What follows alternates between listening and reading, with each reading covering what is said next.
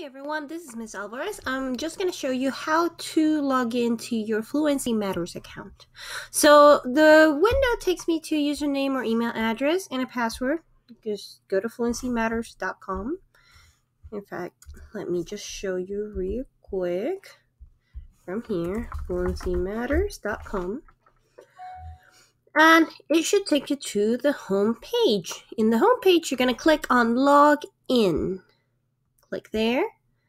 And in your username or email address, you're going to put your username. In my case, I'm going to put this one is my mock student account.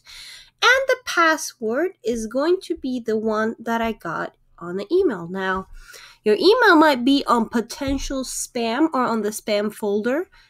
Double click there. It might be there in hiding.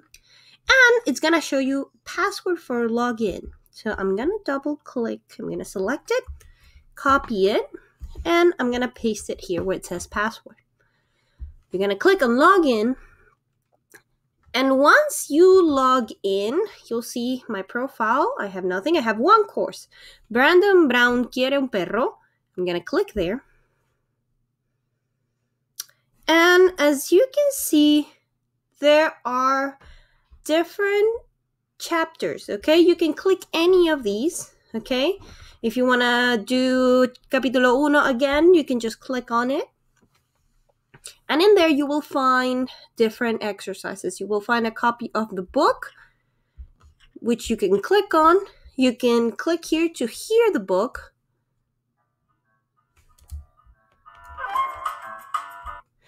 Okay, here you have a different set of exercises, okay? Once you're done with that, you're just gonna click on next lesson.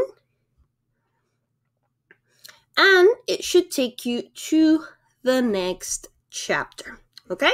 So that is it. That is all you have to do in order to navigate fluencymatters.com, okay?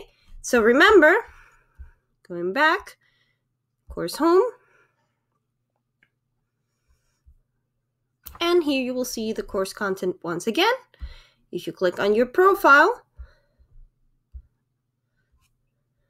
okay, once you click on your profile, you'll see this, okay? And that is it.